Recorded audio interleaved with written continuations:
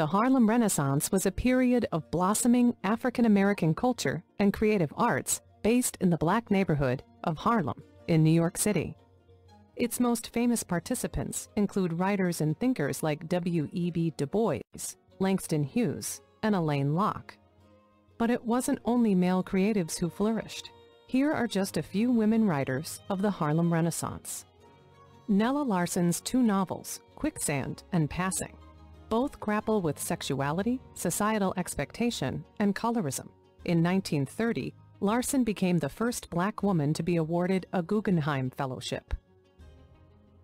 One of few Harlem Renaissance writers to never live in New York City, poet Anne Spencer connected with other writers by opening her Virginia home as a safe space for black travelers.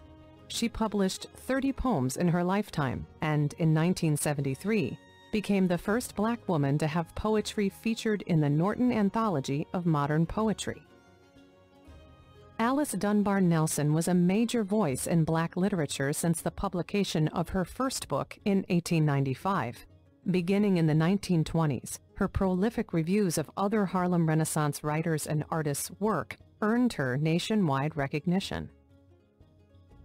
The first black student to join the drama and literary societies at her Brooklyn, New York high school, Gwendolyn Bennett, was an early entrant into Harlem Renaissance Society. Bennett was a professor, editor, and a prolific poet whose writing appeared in nearly all the prominent black publications of her time. In the 1970s, novelist Alice Walker reintroduced Americans to the work of Zora Neale Hurston, a significant novelist of the Harlem Renaissance. Walker found and identified Hurston's previously unmarked grave, lauded her work in the New York Times, and gave the literary world a much-needed reminder. Zora Neale Hurston likely wasn't the only genius black woman they had left behind.